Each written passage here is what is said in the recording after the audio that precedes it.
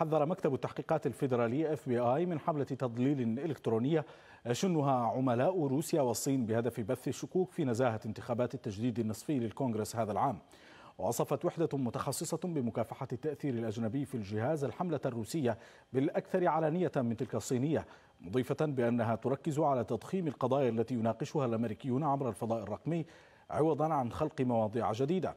حسب ال FBI فإن عملاء الصين منخرطون في أساليب التأثير التي عادة ما تتبعها روسيا وتقوم على بث الفتنة بين الأمريكيين. وأشار الجهاز إلى إغلاق فيسبوك أخيرا لحسابات صينية بثت دعايات تسخر من الرئيس جو بايدن والسناتور الجمهوري ماركو روبيو.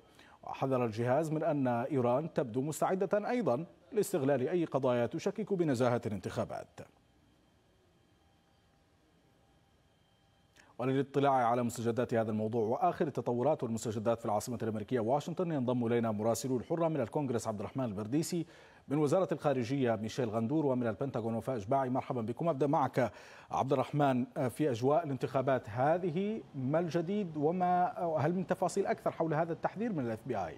نعم محمد هذا التحذير يأتي ببعض الأخبار التي تم تداولها عبر منصات الرقمية هنا في الولايات المتحدة الأمريكية وأنها تعتبر أخبار عادية. المكتب التحقيقات الفيدرالي قال لا يوجد أي تهديد لنظام النظام الانتخابي في الولايات المتحدة الأمريكية ولا يوجد أي تهديد على أن يذهب الناخبين بسلام للإدلاء بأصواتهم وإنما تريد دول مثل روسيا والصين وإيران لزرع الانقسام بين الأمريكيين بنشر أخبار كاذبة. ولذلك ناشد مكتب التحقيقات الفيدرالي المجتمع الأمريكي بألا ينساق إلى هذه الأخبار الكاذبة.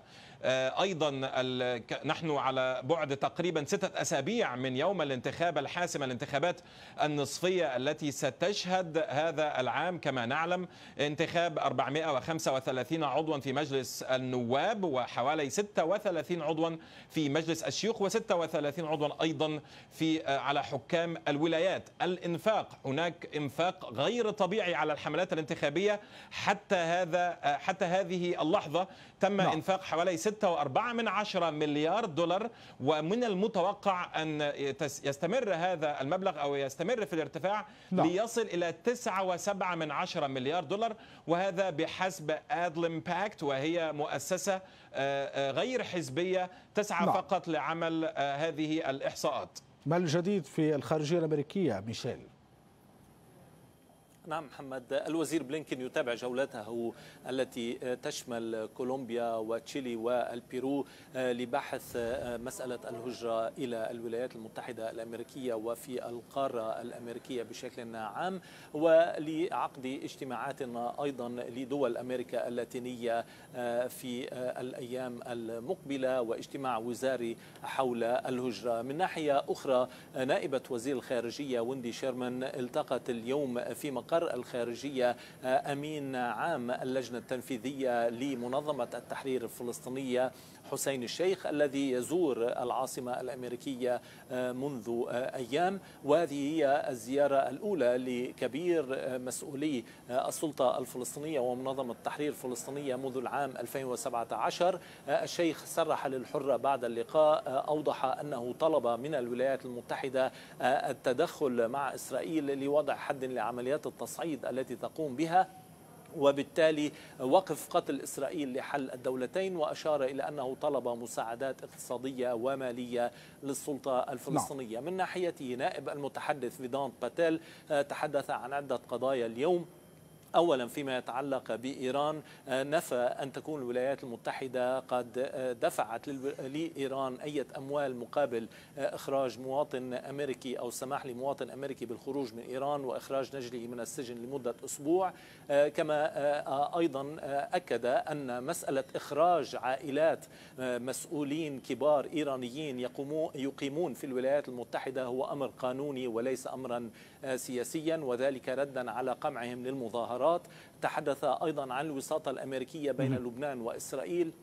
أشار إلى أن هوكستين يتابع جهوده بغية التوصل إلى حل نهائي لهذه الأزمة وأشار إلى أن هذه القضية أولوية بالنسبة للإدارة الأمريكية وأشاد بالأجواء الإيجابية للفريقين وأوضح أن هذا الحل والاتفاق قد يؤدي إلى استقرار اقتصادي وأمني للبلدين وتحدث أيضا عن إطلاق الصاروخ من قبل كوريا الشمالية واعتبر الأمر غير مقبول وفاء ما الجديد في البنتاغون؟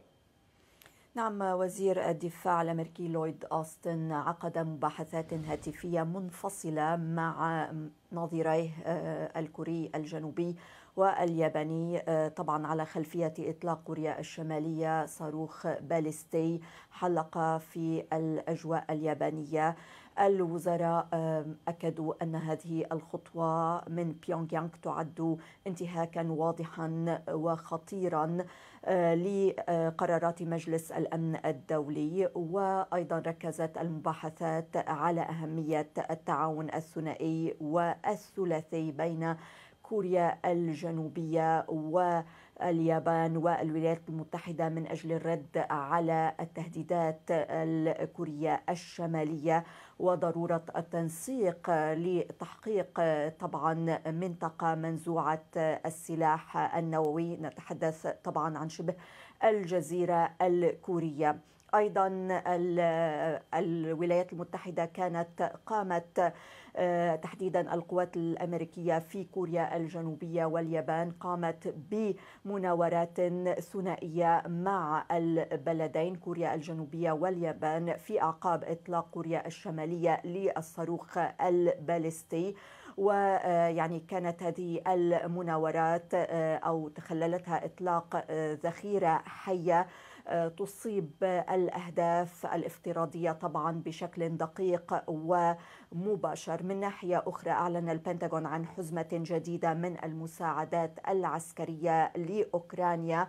بقيمة 625 مليون دولار تصرف مباشرة من مخزون وزارة الدفاع وذلك عبر تفويض رئاسي من الرئيس نعم. بايدن هو الثاني والعشرين.